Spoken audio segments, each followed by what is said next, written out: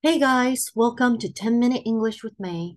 And today we're going to look at our third dependent clause, which is our adverbial clause. So we've already discussed the first type of dependent clause, which is an adjective clause, right? And it starts with a relative pronoun, who, whom, whose, which, that, or a relative adverb and the function is an adjective, so it modifies a noun or pronoun called the antecedent. And of course, we have also discussed the second type of dependent clause, which is a noun clause.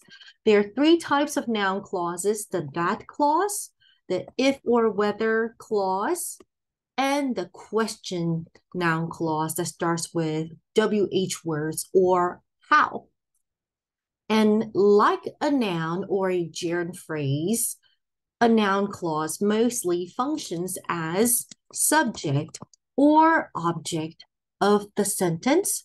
And of course, sometimes it can be used as adjective complement after emotion adjectives like I'm happy that you passed the test, or it can be used as an appositive after certain nouns like belief, thought, theory, so on and so forth. Okay, and today we're looking at adverbial clause. So, like an adverb, an adverbial clause modifies the verb. And there are many different kinds of adverbial clauses. And today we're going to be looking at the ones that talk about time. So, as you can see here, there are many different subordinators. So if you remember from our part of speech lesson, we talked about two types of conjunction coordinators like fanboys and subordinators like when, whenever, while, as soon as, so on, so forth. Keep in mind that a subordinating conjunction makes a clause dependent, meaning that when you have a subordinator here, you don't have a complete sentence, you have a dependent clause in this case, you have adverbial clause, right? So we break down the first sentence. When people had to hunt for food, they moved from place to place, right? And before our subject people, we have our subordinator. So that is why the first part of the sentence, that is our adverbial clause. And why is there a comma here? Whenever our dependent clause comes before, our adverbial clause comes before, or maybe you have a phrase, or maybe you have a transition word, conjunctive adverb, you need something called the introducer, comma, followed by your actual sentence, your independent clause. Okay, and as a quick recap, we can have phrases inside clauses.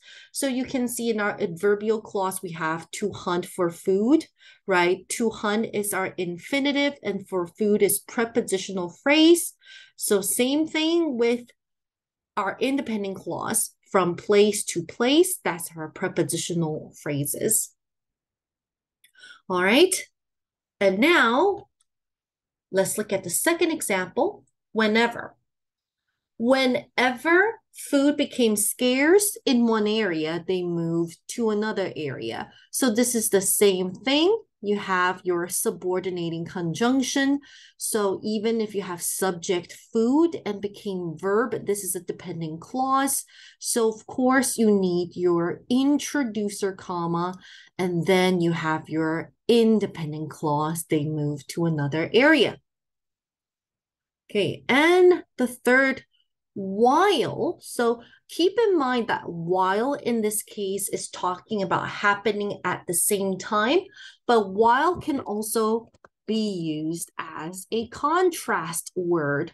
So when you are using it as a contrast word, it comes with a comma in front of while. Okay. So for example, I can say, um, Summers in Taiwan are hot, comma, while summers in Canada are cool, right? But in this case, this is talking about time. The men hunted game while our subordinating conjunction. The women gathered plants. So unlike our first two examples, our dependent clause comes after our independent clause, the men hunted game. And you can see there is no comma here. So a general rule of punctuation for adverbial clause is if you have dependent, which is D, you need introducer comma followed by independent. Whereas if you have your independent clause first, you don't need the comma, so you can have your dependent clause right after. Okay, and number four, as soon as eating habits changed, and that is our independent clause. Pardon me, it should be habits changed. And then we have our subordinator as soon as.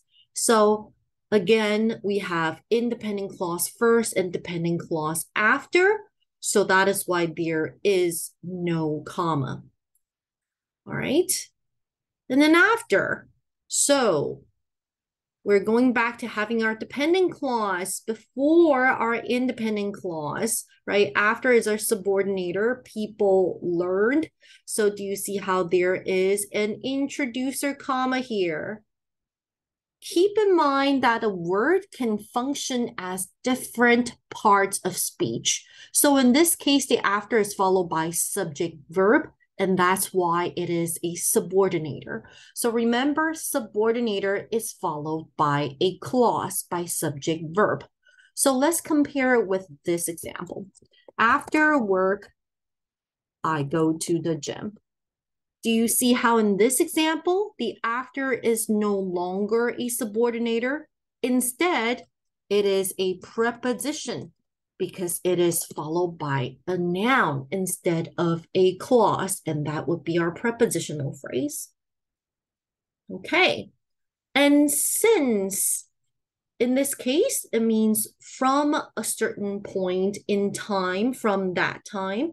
So since the United States changed from an agricultural to an industrial society, eating habits there have changed. So again, we have our dependent clause first, right? So that is why this is D, introducer, comma, I, our independent clause. And remember that since can also mean cause and effect. So it can mean because as well. So for example, I can say since Bob didn't study, introducer, comma, he failed the test right? So since has two different meanings.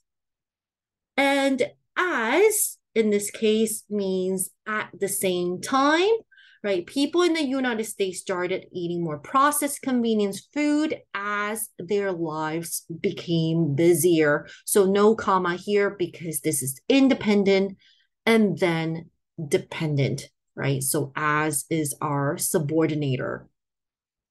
And also, like after, our as can be a preposition as well, right? As a teacher, I am supposed to impart wisdom, right? So in this case, the as would be preposition because it is not followed by a clause, it is followed by a noun only. Okay.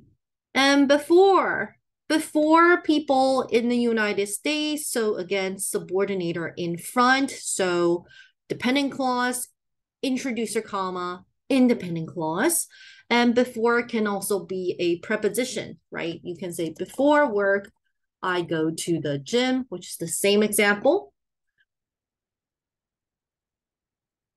Okay. And last but not least, until subordinator, women had time to cook meals from scratch until subordinator, they went to work in factories and offices, right? So until comes in the middle of the sentence. So that's why there's no comma because it's I, D, independent, and then dependent. Okay. And that is it for our time subordinators. There might be more, right? This is not a um an exclusive or comprehensive list. Okay. But that's it for our time adverbial clause. I will see you next time. Bye bye.